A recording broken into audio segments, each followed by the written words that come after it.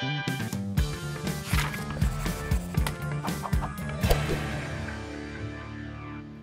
right, welcome back to Comic Shop Talk. How's everybody doing? Got my uh, Red King hat on. Go check them out. It's a pretty cool comic, kind of a multimedia company.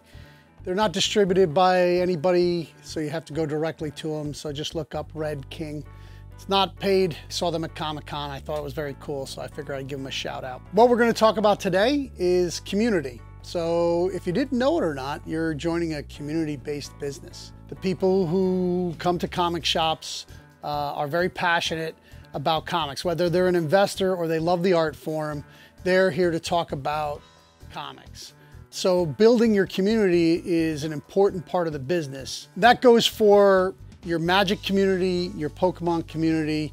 If you're fair with them, um, if everybody gets the same price, if everybody gets the, I mean, you can allow for discounts for veterans or different things like that. But I'm talking about when you're buying stuff from people, everybody gets a certain percentage. If you're if you're selling to people, everybody pays a certain percentage. It, that way, you become trustworthy, and that helps to build a community. Nobody feels that anybody is getting special treatment, and so forth. Just a quick story: we had somebody move into right in like a block away from me that wanted to also do magic. They poached one of the guys who was a regular player of ours to go over there and uh, work and help them. I didn't even know they were opening up until they opened. And um, uh, luckily, because I had stuck to the community based and had treated everybody very well, all my customers were very loyal to me. Now, I said, listen, if I don't have a card and they have a card that you need, you know, go, you know, go buy it over there. Um, if you feel more comfortable playing over there, that's a part of being trustworthy too. You can't, you can't hold on to things. You know, it's just like regular life. You just can't hold tightly onto things. That uh, you you have to just be yourself, uh, be as be honest and trustworthy, and have integrity, and it'll pay off. And people will make sure to, even if they go and try something um, it won't be authentic, you know. And and we have lost people to that have used to drive an hour to come to our shop. A new shop opens closer to them. It's more convenient. Um, you know, if their needs are getting met there, I have no hard feelings to that. Um, you have to understand that, like especially in this economy, people aren't going to drive an hour to, you know, to play cards for a couple hours. You know, some still do. I, I mean, I still have people, but there's no store between me and this other place that they come from. But people do drive quite close to an hour to come play for uh, on certain nights and for our pre-releases. And you know, I'm very appreciative of that. And that's important. You have to foster that kind of community. And the same in comics. And I have people that drive three hours. They don't come every week, of course. But, uh, you know, once a quarter, they, they make a pilgrimage because they want to come talk to me about comics. They want to come look at what I've gotten. I save stuff for them because I know what they, they like and what they want. Uh, so I'll put stuff away. And then when, when they show up, you know, I'll pull out a short box and uh, this is all the stuff I know you like. And they're excited about that. It's just what I remember about the old school comic book stores that I used to go to. So the community that you build in your store is only one community. You have to build a community of also of where you're at. Like we're in a very small city, so it's very, very important for us, even for people who aren't our customers, to hear them out about behind our store, is it clean? Do we keep kids from hanging out uh, and doing any mischief? And, and we have like a little uh, alleyway between us and another shop. Do people hang out front and smoke in front of the store in a big group? And we don't. We don't allow that kind of stuff. Single person can go out and smoke.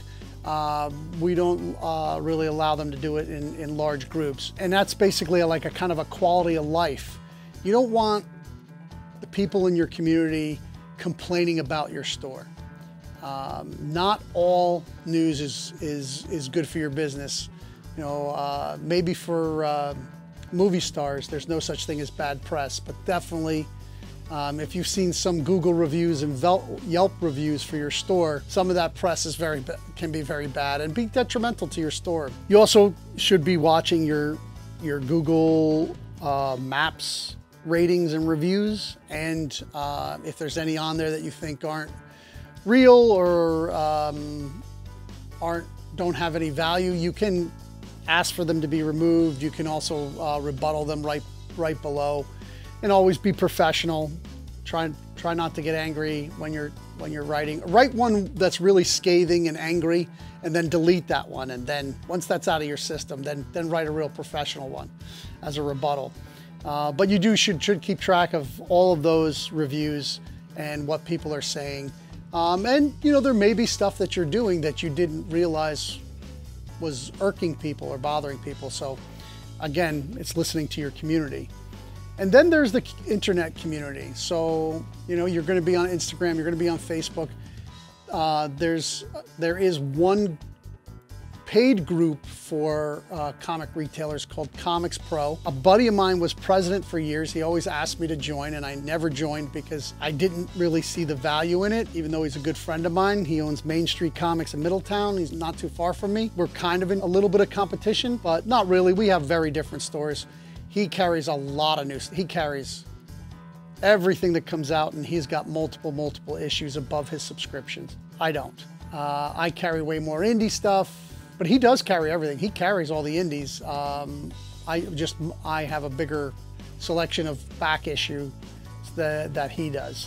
He uh, mostly does new, but he's a part of the the local community, right? So when he was president, he'd asked me to join a couple of times, and I went through their website.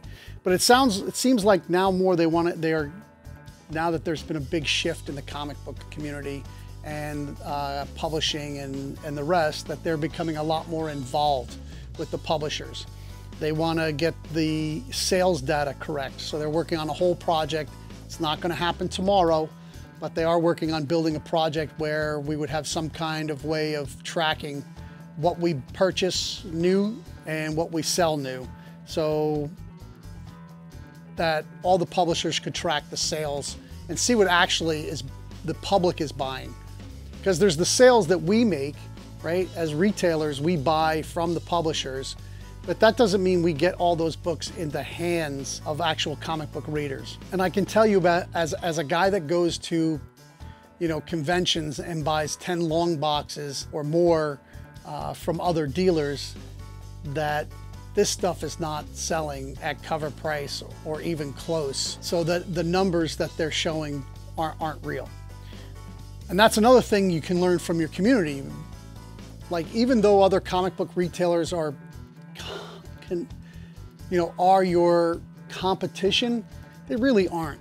You know, you're you're providing your retail store for your locality, you know, the people that live in your area and the slight surrounding area. If a guy opens up down the block, yeah, then you're in direct competition. But even then, he might be doing something different. But you all need to stick together because we have to be stewards of this business. it, it is a hobby uh, that if people don't cultivate it, it will die, just like a garden. So get involved with your community, be thinking about it on the internet, where before I got off on the tangent, I was talking about the internet. Comics Pro's on there, you can join there. It's about $300 now, it used to be 200, but every once in a while they run a deal so you can keep an eye out for that. They're the ones that do, if you were buying any comics through Diamond, um, I think you can get some of them through, through Lunar too, is the local comic shop day. That's all curated by the Comics Pro. There's also a, a bunch of Facebook groups. Emmett's old and his memory's really, really bad. I don't remember most of the names of them. There is the Comic Coalition. Mike Zach Zapcic from The Secret Stash is kind of the, the main moderator of that. You can apply to be a member of that and it's just a bunch of comic book dealers talking about stuff. You can ask questions, you can get a lot of great information from them. It's a, that's a good place. There's also one that you have to get invited to, which is a, is a really good one if you're starting out. It's not only if you're starting out, it's always a good one. It is retailer to retailer sales, but it's called, I think, comics and game store retailer to retailer sales. You have to prove that you're, you own a, comic, a brick and mortar comic shop. And it basically is, hey, I overbought this stuff. It's not moving. I don't have a, I don't have customers for this. I'm selling it at cost And a lot of this stuff is stuff you can't get from the distributor anymore because it's like, you know, maybe five, six, or maybe even two years old. And you'd love to have it because you sold out of it and couldn't get any more from the distributor. Now, of course, it's not the stuff we're all selling, like Lorcana or stuff like that, but I've seen a lot of older Pokemon. You know, some of these card games are West Coast. There's a lot of like a lot of the Japanese card games do much better on the West Coast than they do on the East Coast. I, I don't know why. At least, at least in my area, there's not really a huge Yu-Gi-Oh community. There's a small one, but not a huge one. Um, there's definitely not a big Vanguard community. There, as far as I know, there is no Force of Will community anymore. There's very little Flesh and Blood community. So like these are things that if in your area in the Midwest, you can't get Flesh and Blood and your distributor's all out of it, there's a lot of guys that bought this stuff and are now holding it. And they would love to sell it to you. So that is a really great resource. If you want to, if you're, if you're a brick and mortar and you want to get on that site, send me a message. If you liked and subscribed to the Tales of the Flip Side, I'll hook you up. we got to get something out of it. We got to get something out of it. But let me tell you, you know, and pass the word around to uh, other retailers that you're talking to that there is a really good Facebook group out there. You might be able to just to send a message and try to apply. But if you need to find it and you can't you can't find it, hit me up, I'll help you out. There's a few more of those on there that I can hook you up with too. I'll have a whole list on Haven for Heroes site because I have control of that. I really don't do the description for the for the uh, items uh, for the Tales from the Flip Side. So if you if you find your way over to Haven for Heroes, we'll have like a mini version of this, which is will just be like a five minute uh, with all the URLs for uh, all the different organizations. Now, from the professional organizations to some of the organizations, I mentioned this when I was doing sales. I want to reiterate it again. Go out and not out, but into the internet. Go to Facebook and look for the groups like Moms of wherever your area is. Um, there's a lot of people that have started these uh, groups on Facebook for moms. I think there's some for grandmoms, you know, and they have like, oh, here's there's these little events going on here and there and everywhere. And you can, a lot of times you can post your sales on there. You can also see grandmothers and mothers will be asking questions about, oh, my kid's really into this. Does anybody know where I can get some? And hey, you, if you're selling Pokemon, they're into Pokemon you can say, hey, at our shop, here, we, this is what we have. Does anybody teach the game? We teach. You know, uh, my shop teaches. You should think about getting somebody that will teach these games. Really helps your sales. Again, getting involved with the community. But these are a lot of the places you can outreach. I mean, I'm never on Facebook anymore. I mean, except for birthdays and, uh, you know, uh, saying happy birthday to people I haven't seen in 30 years or thanking people who haven't seen me in 30 years for uh, my birthday. I'm never on Facebook except for my business and I need to spend more time. Business has slowed down in the local area, so we have to move online. You can't have just have one. You can't just do Facebook. Uh, I mean, you just can't do eBay. You have to have other ways of selling your items. We have TCG Player, which is great which we've been very successful with over the last five years. I'm looking for a place to sell comics and I have a lot of other stuff now that I have, I have some very, very solid clean out guys that are bringing me all kinds of stuff now. Um, I got, just got a crazy set of albums in, uh, Iron Maiden albums that sold in a day on eBay, so I probably sold them too cheap. But yeah, so reaching out to your community, staying involved in your community. Don't be a comic book snob. Everybody has their own tastes. You know, I'm sure you have a favorite ice, ice cream flavor and your spouse probably is a different one. And your kids are probably different flavors. Or usually they, if you have more than one kid, one, one likes what you like and the other one likes what your, your, your, your spouse likes.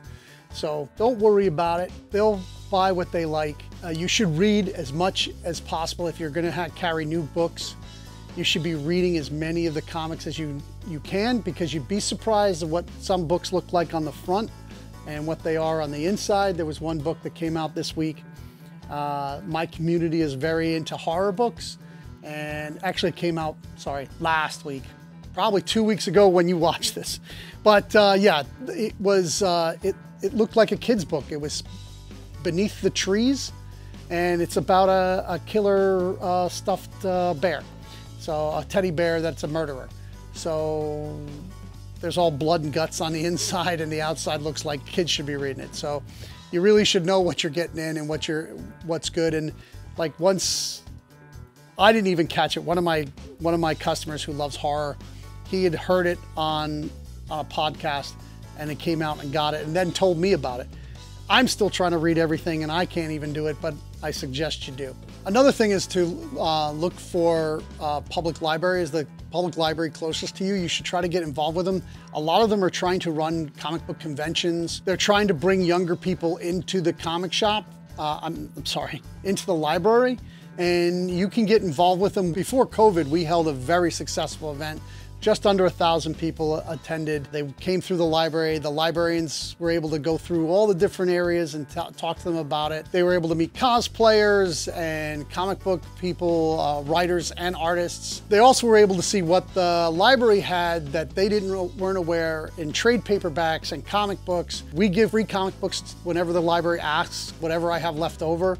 I donate to the library. They have a reading program every summer and everybody who um, meets their goal, we give let them have pick a free comic. They just have to stop by the comic shop and they get a free comic, not a free comic book day comic, any comic in the shop for free. Not off the wall, let's not get crazy, but any new comic book, uh, age appropriate, they're able to take home uh, and read for free. Um, and we eat that cost, but it, I mean, it's goodwill in the community, and that's a good thing to have is goodwill. Uh, there's also community events uh, that they have, like we have very uh, quite a few street fairs, and I've talked about them, like the big sales that we have when we have the street fairs. It usually is good for at least a week's worth of uh, money and sometimes a month. Um, be aware that they're happening, somehow get involved. If it's not down the street that you're on, try to get a booth. We have a very small paper that comes out. We advertise in that every uh, it comes out like quarterly and we advertise in that religiously. It is kind of the only paper locally that they read and it's all it is is ads.